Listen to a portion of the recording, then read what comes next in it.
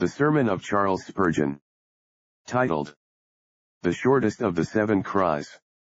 Text. After this, Jesus knowing that all things were now accomplished, that the scripture might be fulfilled, saith, I thirst. John 19:28. It was most fitting that every word of our Lord upon the cross should be gathered up and preserved. As not a bone of him shall be broken, so not a word shall be lost. The Holy Spirit took special care that each of the sacred utterances should be fittingly recorded. There were, as you know, seven of those last words, and seven is the number of perfection and fullness, the number which blends the three of the infinite God with the four of complete creation. Our Lord in his death cries, as in all else, was perfection itself. There is a fullness of meaning in each utterance which no man shall be able fully to bring forth, and when combined they make up a vast deep of thought, which no human line can fathom. Here, as everywhere else, we are constrained to say of our Lord, never man spake like this man. Amid all the anguish of his spirit his last words prove him to have remained fully self-possessed, true to his forgiving nature, true to his kingly office, true to his filial relationship, true to his God, true to his love of the written word, true to his glorious work, and true to his faith in his Father. As these seven sayings were so faithfully recorded, we do not wonder that they have frequently been the subject of devout meditation. Fathers and confessors, preachers, and divines have delighted to dwell upon every syllable of these matchless cries. These solemn sentences have shone like the seven golden candlesticks or the seven stars of the apocalypse, and have lighted multitudes of men to him who spake them. Thoughtful men have drawn a wealth of meaning from them, and in so doing have arranged them into different groups, and placed them under several heads. I cannot give you more than a mere taste of this rich subject, but I have been most struck with two ways of regarding our Lord's last words. First, they teach and confirm many of the doctrines of our holy faith. Father, forgive them, for they know not what they do is the first. Here is the forgiveness of sin-free forgiveness in answer to the Saviour's plea. Today shalt thou be with me in paradise. Here is the safety of the believer in the hour of his departure, and his instant admission into the presence of his Lord. It is a blow at the fable of purgatory which strikes it to the heart. Women, behold thy son. This very plainly sets forth the true and proper humanity of Christ, who to the end recognized his human relationship to Mary, of whom he was born. Yet his language teaches us not to worship her, for he calls her woman, but to honor him in whom his direst agony thought of her needs and griefs, as he also thinks of all his people, for these are his mother and sister and brother. Eloi, Eloi, lama sabachthani, is the fourth cry, and it illustrates the penalty endured by our substitute when he bore our sins, and so was forsaken of his God. The sharpness of that sentence no exposition can fully disclose to us. It is keen as the very edge and point of the sword which pierced his heart. I thirst is the fifth cry, and its utterance teaches us the truth of scripture, for all things were accomplished, that the scripture might be fulfilled, and therefore our Lord said, I thirst. Holy scripture remains the basis of our faith, established by every word and act of our Redeemer. The last word but one, it is finished. There is the complete justification of the believer, since the work by which he is accepted is fully accomplished. The last of his last words is also taken from the scriptures, and shows where his mind was feeding. He cried, ere he bowed the head which he had held erect amid all his conflict, as one who never yielded, Father, into thy hands I commend my spirit. In that cry there is reconciliation to God. He who stood in our stead has finished all his work, and now his spirit comes back to the Father, and he brings us with him. Every word, therefore, you see teaches us some grand fundamental doctrine of our blessed faith. He that hath ears to hear, let him hear.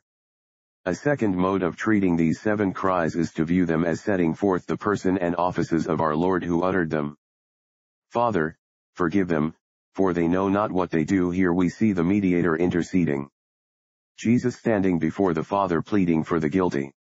Verily I say unto thee, today shalt thou be with me in paradise. This is the Lord Jesus in kingly power, opening with the key of David a door which none can shut, admitting into the gates of heaven the poor soul who had confessed him on the tree.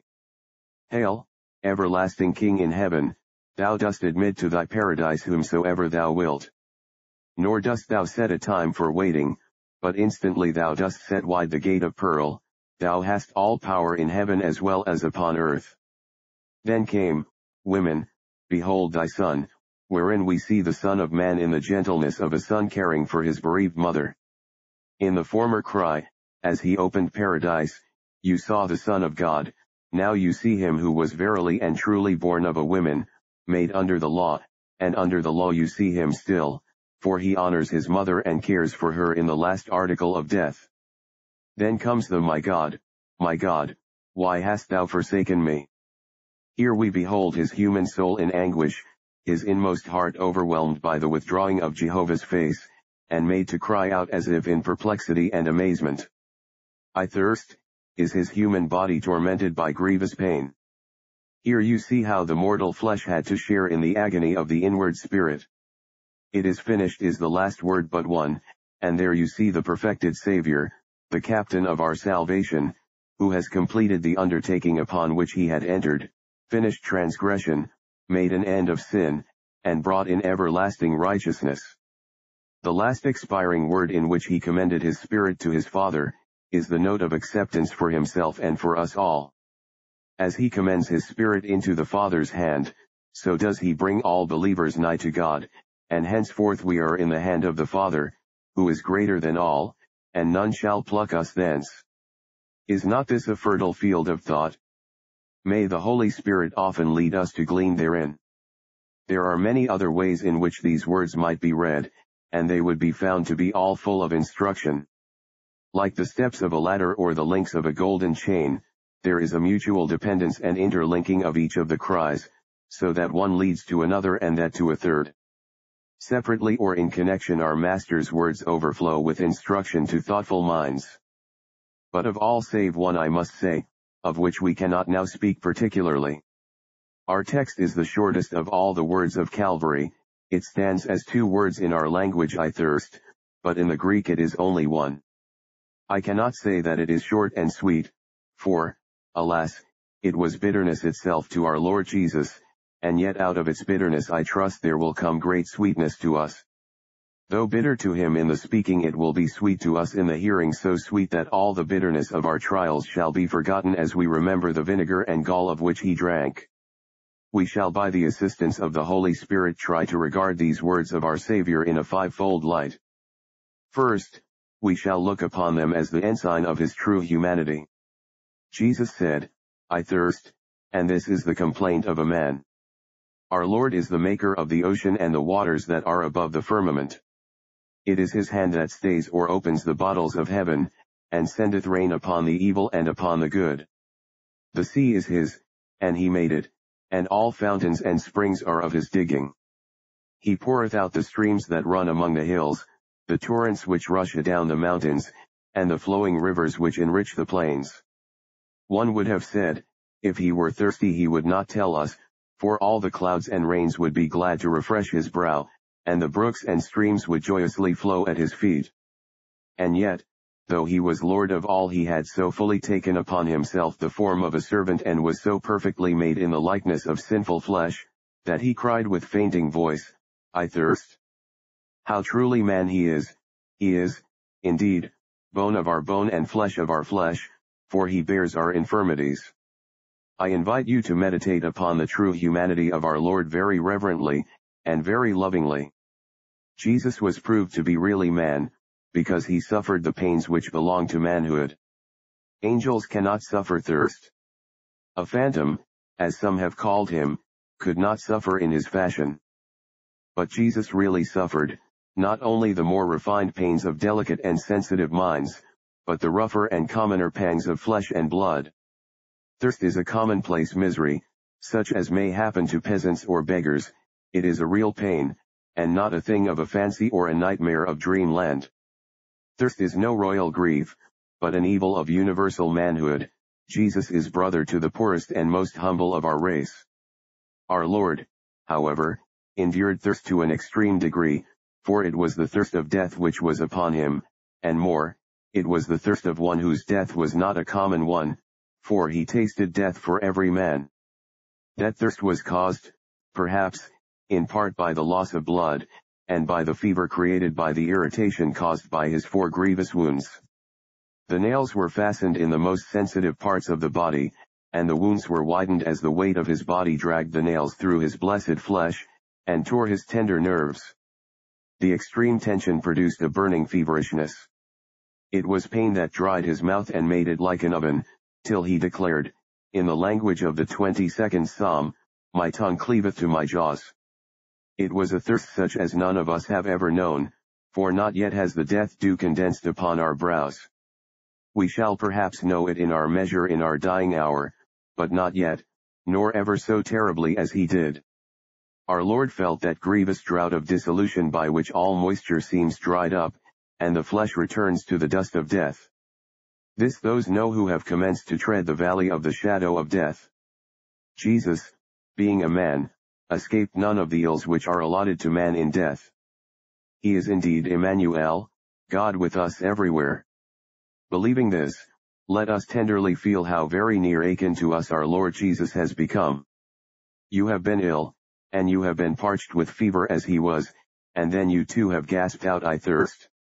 Your path runs hard by that of your master. He said, I thirst, in order that one might bring him drink, even as you have wished to have a cooling draught handed to you when you could not help yourself.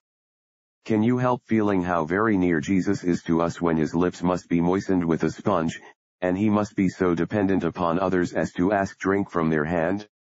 Next time your fevered lips murmur I am very thirsty, you may say to yourself, those are sacred words, for my Lord spake in that fashion. The words, I thirst, are a common voice in death chambers.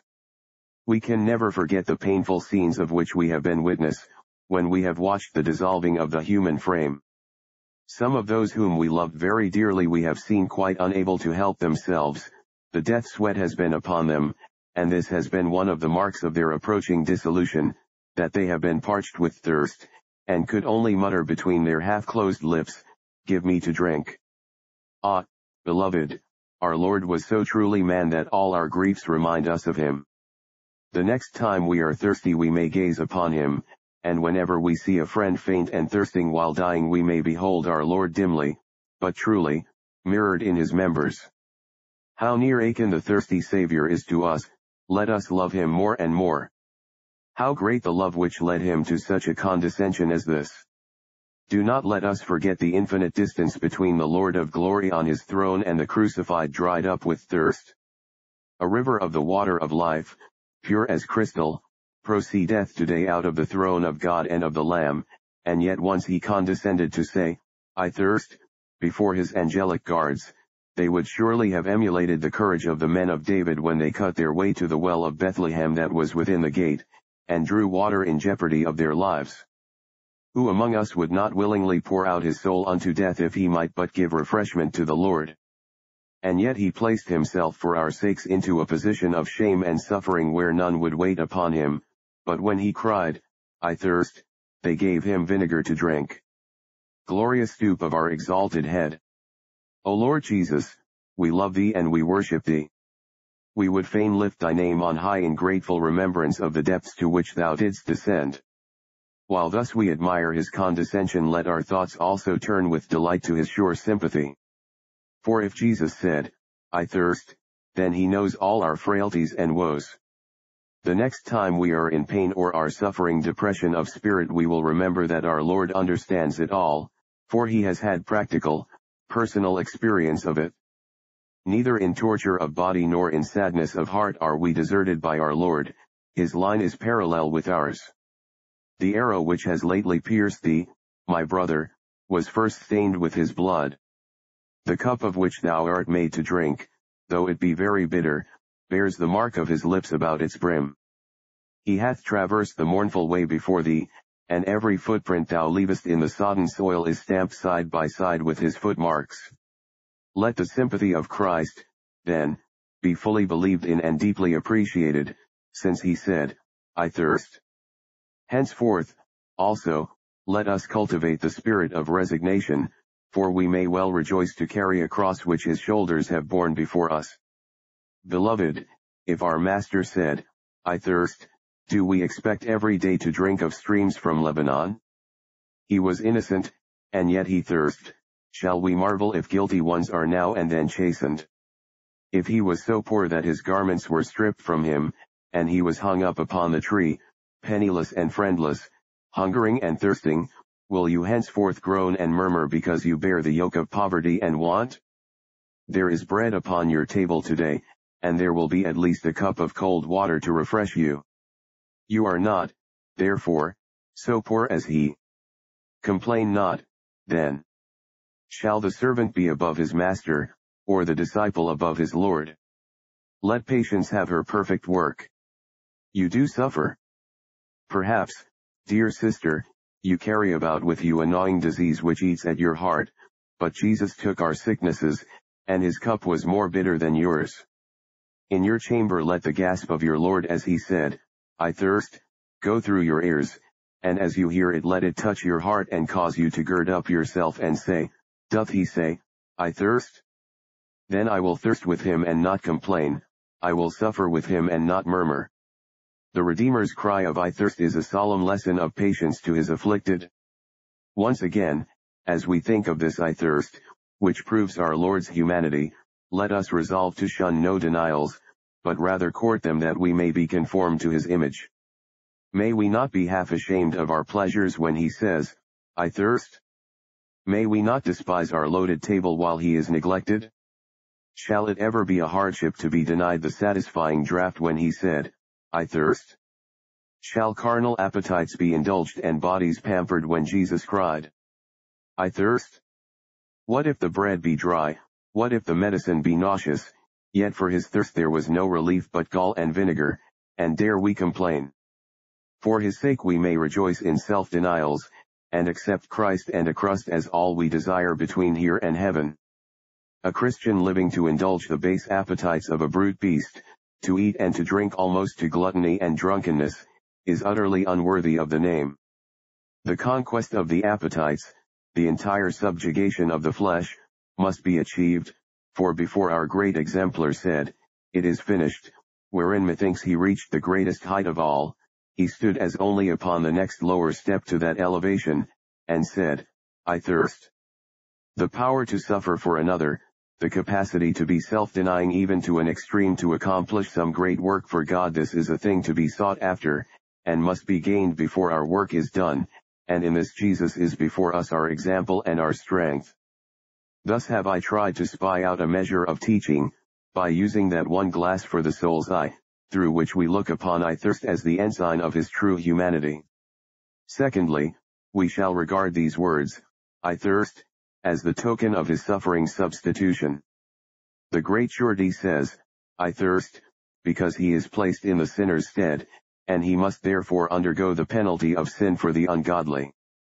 My God, my God, why hast thou forsaken me, points to the anguish of his soul, I thirst expresses in part the torture of his body, and they were both needful, because it is written of the God of justice that he is able to destroy both soul and body in hell, and the pangs that are due to law are of both kinds, touching both heart and flesh. See, brethren, where sin begins, and mark that there it ends. It began with the mouth of appetite, when it was sinfully gratified, and it ends when a kindred appetite is graciously denied. Our first parents plucked forbidden fruit, and by eating slew the race. Appetite was the door of sin, and therefore in that point our Lord was put to pain. With I thirst the evil is destroyed and receives its expiation.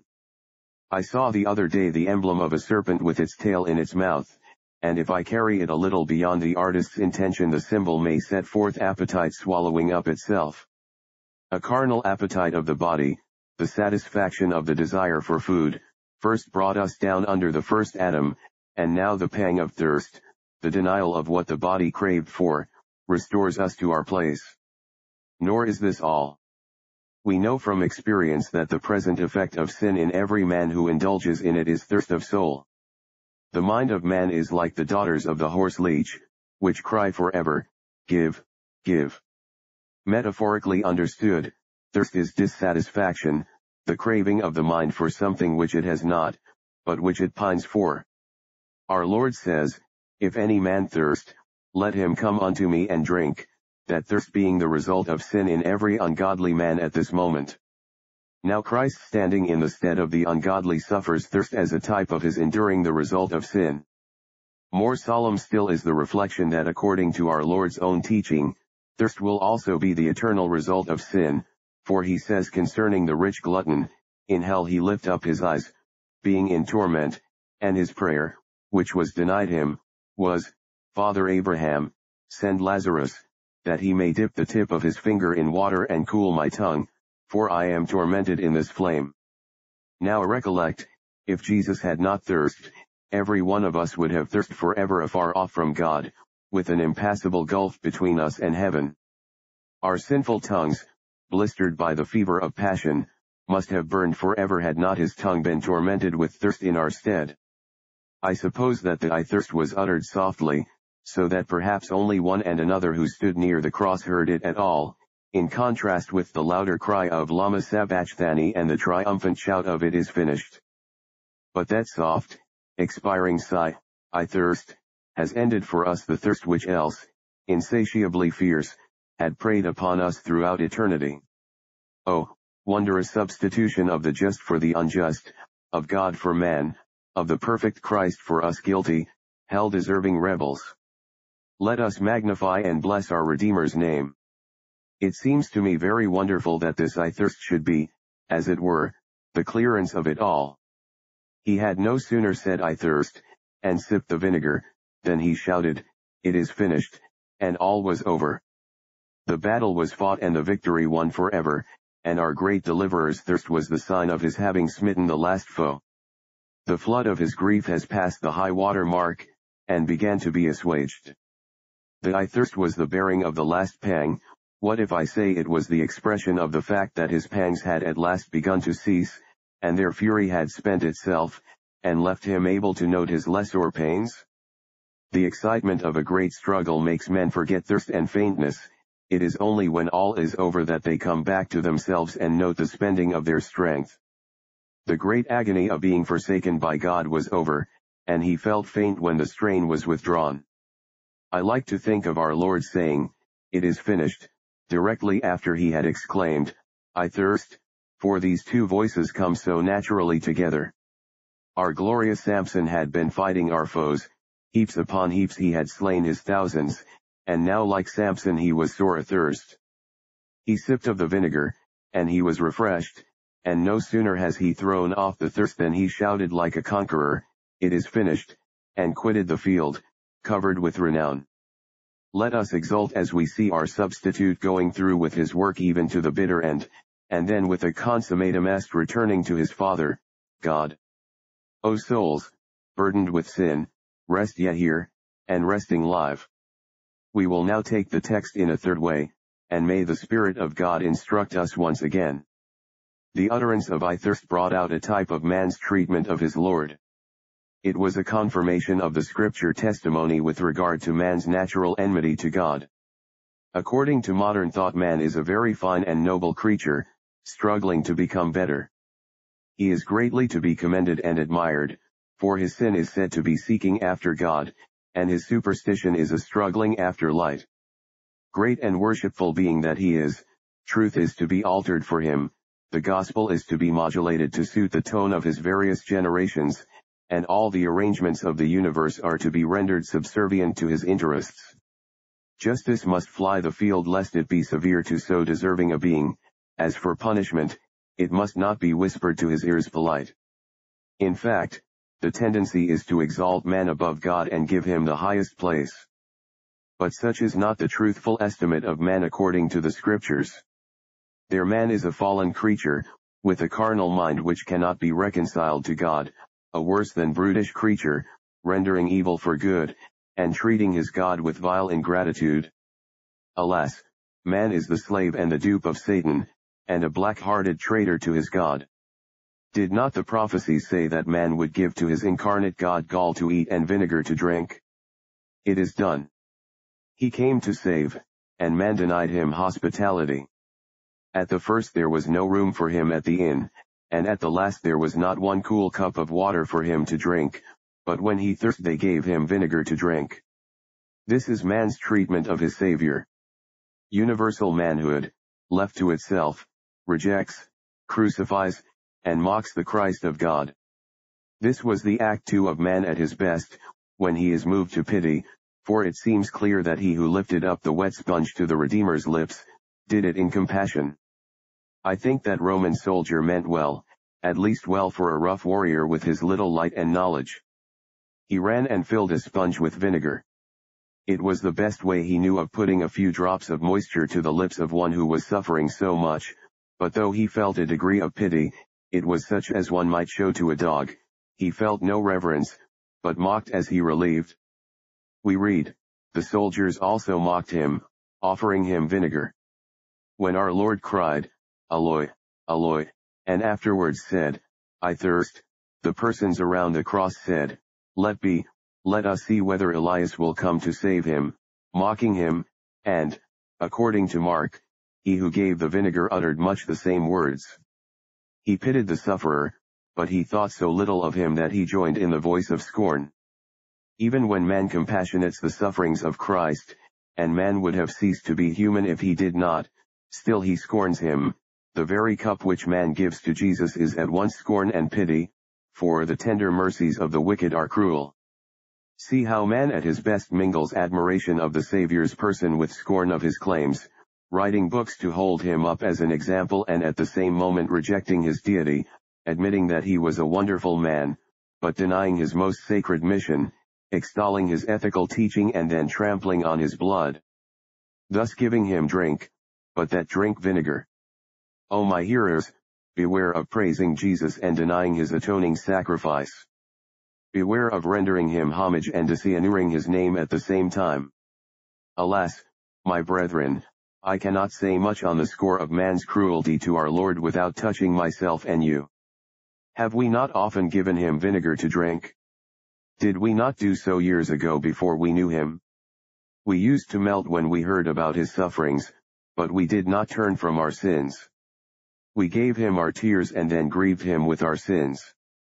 We thought sometimes that we loved him as we heard the story of his death, but we did not change our lives for his sake, nor put our trust in him, and so we gave him vinegar to drink. Nor does the grief end here, for have not the best works we have ever done, and the best feelings we ever felt, and the best prayers we have ever offered, been tart and sour with sin? Can they be compared to generous wine? Are they not more like sharp vinegar? I wonder he has ever received them, as one marvels why he received this vinegar, and yet he has received them, and smiled upon us for presenting them.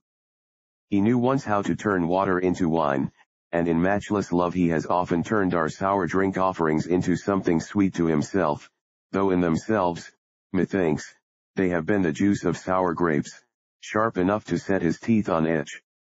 We may therefore come before him, with all the rest of our race, when God subdues them to repentance by his love, and look on him whom we have pierced, and mourn for him as one that is in bitterness for his firstborn. We may well remember our faults this day. We, whose proneness to forget. Thy dear love, on Olivet. Bathe thy brow with bloody sweat. We whose sins, with awful power, like a cloud did o'er thee lower in that God excluding hour. We, who still, in thought and dead, often hold the bitter reed. To thee, in thy time of need. I have touched that point very lightly because I want a little more time to dwell upon a fourth view of this scene. May the Holy Ghost help us to hear a fourth tuning of the Dolorous music, I thirst. I think, beloved friends, that the cry of I thirst was the mystical expression of the desire of his heart I thirst. I cannot think that natural thirst was all he felt. He thirsted for water doubtless, but his soul was thirsty in a higher sense, indeed, he seems only to have spoken that the scriptures might be fulfilled as to the offering him vinegar. Always was he in harmony with himself, and his own body was always expressive of his soul's cravings as well as of its own longings. I thirst meant that his heart was thirsting to save men. This thirst had been on him from the earliest of his earthly days. Wist ye not, said he, while yet a boy, that I must be about my father's business. Did he not tell his disciples, I have a baptism to be baptized with, and how am I straitened till it be accomplished? He thirst to pluck us from between the jaws of hell, to pay our redemption price, and set us free from the eternal condemnation which hung over us, and when on the cross the work was almost done his thirst was not assuaged, and could not be till he could say, It is finished. It is almost done, thou Christ of God, thou hast almost saved thy people, there remaineth but one thing more, that thou shouldst actually die, and hence thy strong desire to come to the end and complete thy labor.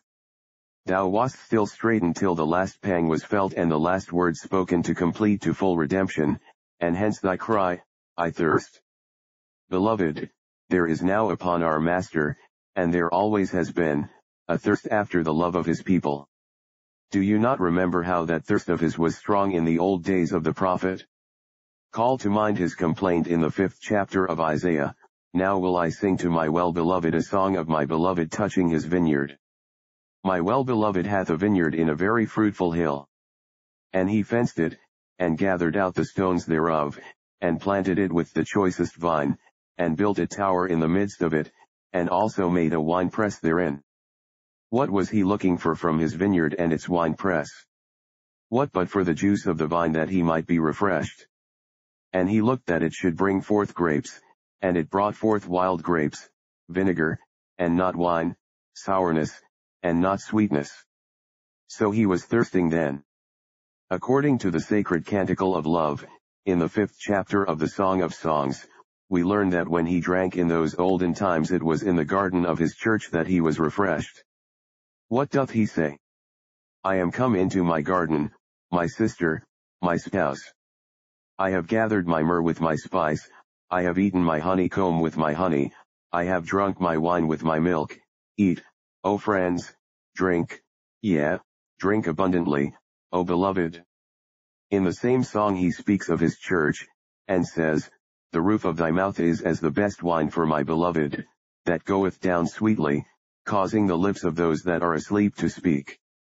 And yet again in the eighth chapter the bride saith, I would cause thee to drink of spiced wine of the juice of my pomegranate. Yes, he loves to be with his people, they are the garden where he walks for refreshment, and their love, their graces, are the milk and wine which he delights to drink. Christ was always thirsty to save men, and to be loved of men, and we see a type of his lifelong desire when, being weary, he sat thus on the well and said to the woman of Samaria, Give me to drink. There was a deeper meaning in his words than she dreamed of, as a verse further down fully proves, when he said to his disciples, I have meat to eat that ye know not of. He derived spiritual refreshment from the winning of that woman's heart to himself. And now, brethren, our blessed Lord has at this time a thirst for communion with each one of you who are his people, not because you can do him good, but because he can do you good. He thirsts to bless you and to receive your grateful love in return, he thirsts to see you looking with believing eye to his fullness, and holding out your emptiness that he may supply it. He saith, Behold, I stand at the door and knock. What knocks he for? It is that he may eat and drink with you, for he promises that if we open to him he will enter in and sup with us and we with him. He is thirsty still, you see, for our poor love, and surely we cannot deny it to him. Come let us pour out full flagons, until his joy is fulfilled in us. And what makes him love us so? Ah, that I cannot tell, except his own great love. He must love, it is his nature. He must love his chosen whom he has once begun to love, for he is the same yesterday, today, and forever. His great love makes him thirst to have us much nearer than we are, he will never be satisfied till all his redeemed are beyond gunshot of the enemy. I will give you one of his thirsty prayers Father, I will that they also whom thou hast given me be with me where I am, that they may behold my glory. He wants you brother, he wants you, dear sister, he longs to have you holy to himself. Come to him in prayer, come to him in fellowship, come to him by perfect consecration, come to him by surrendering your whole being to the sweet mysterious influences of his spirit. Sit at his feet with Mary, lean on his breast with John, yeah, come with the spouse in the song and say, let him kiss me with the kisses of his mouth, for his love is better than wine. He calls for that. Will you not give it to him? Are you so frozen at heart that not a cup of cold water can be melted for Jesus? Are you lukewarm? Oh brother, if he says, I thirst and you bring him a lukewarm heart, that is worse than vinegar, for he has said, I will spew thee out of my mouth. He can receive vinegar, but not lukewarm love. Come, bring him your warm heart, and let him drink from that purified chalice as much as he wills. Let all your love be his. I know he loves to receive from you, because he delights even in a cup of cold water that you give to one of his disciples, how much more will he delight in the giving of your whole self to him? Therefore while he thirsts give him to drink this day. V. Lastly, the cry of I thirst is to us the pattern of our death with him. Know ye not, beloved for I speak to those who know the Lord that ye are crucified together with Christ? Well, then, what means this cry, I thirst, but this, that we should thirst too? We do not thirst after the old manner wherein we were bitterly afflicted, for he hath said, He that drinketh of this water shall never thirst. But now we covet a new thirst.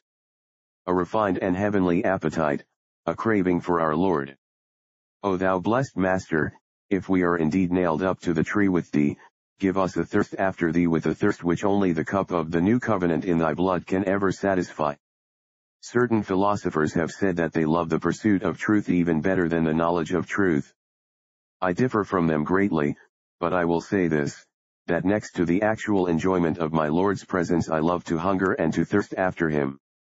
Rutherford used words somewhat to this effect, I thirst for my Lord and this is joy, a joy which no man taketh from me. Even if I may not come at him, yet shall I be full of consolation, for it is heaven to thirst after him, and surely he will never deny a poor soul liberty to admire him, and adore him, and thirst after him. As for myself, I would grow more and more insatiable after my divine Lord, and when I have much of him I would still cry for more, and then for more, and still for more. My heart shall not be content till he is all in all to me, and I am altogether lost in him. Oh to be enlarged in soul so as to take deeper draughts of his sweet love, for our heart cannot have enough. One would wish to be as a spouse, who, when she had already been feasting in the banqueting house, and had found his fruit sweet to her taste, so that she was overjoyed, yet cried out, Stay me with flagons, comfort me with apples, for I am sick of love. She craved full flagons of love though she was already overpowered by it. This is a kind of sweet whereof if a man hath much he must have more, and when he hath more he is under a still greater necessity to receive more, and so on, his appetite for ever growing by that which it feeds upon, till he is filled with all the fullness of God. I thirst, I, this is my soul's word with her Lord. Borrowed from his lips it well sweeteth my mouth. I thirst, but not as once I did. The vain delights of earth to share. Thy wounds, Emmanuel, all forbid. That I should seek my pleasures there. Dear fountain of delight unknown. No longer sink below the brim. But overflow, and pour me down. A living and life-giving stream. Jesus thirst, then let us thirst in this dry and thirsty land where no water is. Even as the heart panteth after the water brooks, our souls would thirst after thee, O God. Beloved, let us thirst for the souls of our fellow men. I have already told you that such was our Lord's mystical desire, let it be ours also. Brother, thirst to have your children saved. Brother, thirst I pray you to have your work people saved. Sister, thirst for the salvation of your class, thirst for the redemption of your family, thirst for the conversion of your husband. We ought all to have a longing for conversions. It is so with each one of you. If not, bestir yourselves at once. Fix your hearts upon some unsaved one, and thirst until he is saved. It is the way whereby many shall be brought to Christ, when this blessed soul thirst of true Christian charity shall be upon those who are themselves saved. Remember how Paul said, I say the truth in Christ, I lie not, my conscience also bearing me witness in the Holy Ghost that I have great heaviness and continual sorrow in my heart. For I could wish that myself were accursed from Christ for my brethren, my kinsmen according to the flesh. He would have sacrificed himself to save his countrymen, so heartily did he desire their eternal welfare. Let this mind be in you also. As for yourselves, thirst after perfection. Hunger and thirst after righteousness, for you shall be filled. Hate sin, and heartily loathe it, but thirst to be holy as God is holy, thirst to be like Christ, thirst to bring glory to his sacred name by complete conformity to his will. May the Holy Ghost work in you the complete pattern of Christ crucified, and to him shall be praise forever and ever. Amen.